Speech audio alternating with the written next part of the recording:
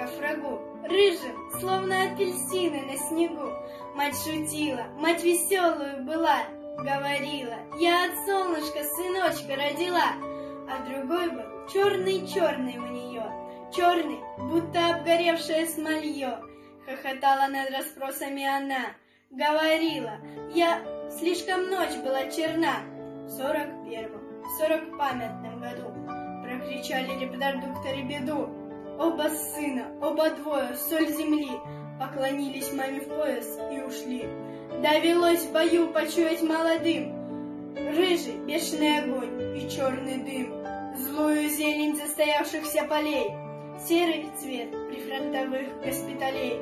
Оба сына, оба двое, два крыла, Воевали до победы, мать ждала, Не гневила, не кляла она судьбу, Похоронка обошла ее избу.